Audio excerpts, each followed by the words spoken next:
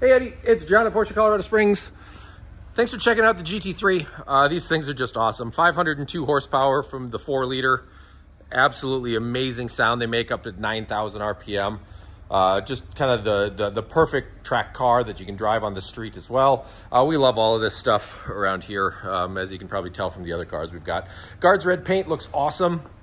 Kind of ties in with those red stripes, red brakes. Love the uh, kind of race car look on the uh, the front air intakes there for the radiator. A couple nostrils to help get the air out the front. Uh, this is carbon fiber, so that's pretty fun. Uh, run back, swan neck wing.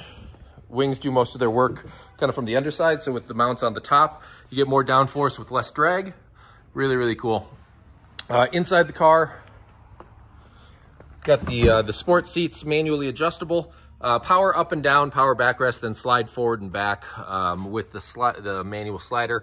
3,018 miles on it as we're sitting today. Beautiful brushed aluminum trim. Leather interior with the red stitching looks great. Just a really, really fun car. And then there's the all-important manual transmission and the button for the front axle lift. If you have any questions about her, give me a call. My number is 612-961-2381. We're here until about 5 o'clock on Memorial Day. Look forward to chatting with you soon.